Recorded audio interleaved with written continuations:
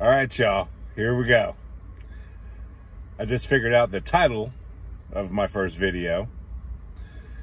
And I think it's to be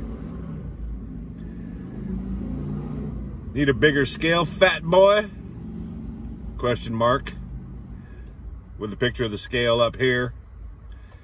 And a picture of my pretty face right here going.